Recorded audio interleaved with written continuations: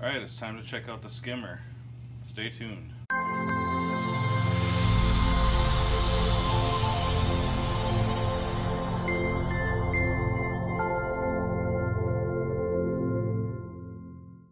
Alright, YouTube, coming at you with another episode of the 125 gallon reef build. And today we're just going to go over the skimmer and a few other things um, on this tank. Um, I'm not going to do like a full unboxing, but here's the box of what I've got. I've got the uh, Reef Octopus uh, Octo Classic 202-S. And from what I've heard, it's a real good uh, sump.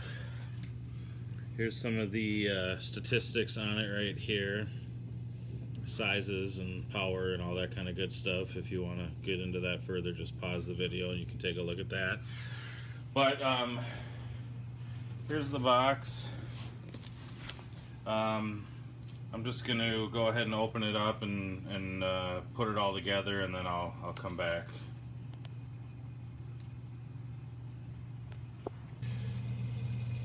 Okay, so we've got the skimmer uh, assembled and uh, placed in the sump here. So I just wanted to give you guys a look at it while it's running. Obviously I'm going to have to be dialing it in quite a bit. As you can see, after not too long of a time for running, it's already, the cup is already filled up with water, so I think that means that I've got it turned on too high. Um, there is an adjustable dial right here, so I'm going to go ahead and turn it down uh, and get it to where I need it to be over time. But it fits good uh, in this sump, which is the eShopps. I forget the number now offhand, but it, it, it's doing real good in there. Um, the uh, the size of it is it's it's a big sump. Or, uh, excuse me, it's a big skimmer. I was able to fit it in without any problems.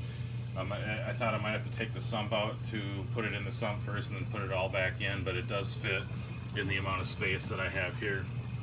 There's some clearance uh, above the the cup so that I can take the cup off with no problem and there's still room for other pieces of equipment and media in um, the chamber that I've got it in. As you can see I've got some bags of pond matrix in there. I've also added some pond matrix to this chamber of the um, sump and that's what I'm running with as far as my media goes. I've got a full four liter bucket in here so um, that's going to be more than enough um, to um, be the biofiltration for the for the tank um, and then obviously the um, rock in the tank will also act as biofiltration.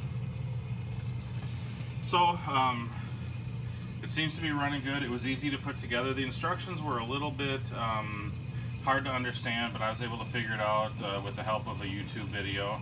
Um, I decided not to go ahead and film it, um, putting it together because uh, there's plenty of videos out on the out on the internet uh, of that. So anyway, just a quick video to show you what I'm using as far as the skimmer goes. Um, also um, showing you what media I've got in the sump and that's about it for now. Um, we'll uh, do another video coming real soon um, on some more equipment for this build. Um, if you're new to this channel, um, make sure that you do subscribe.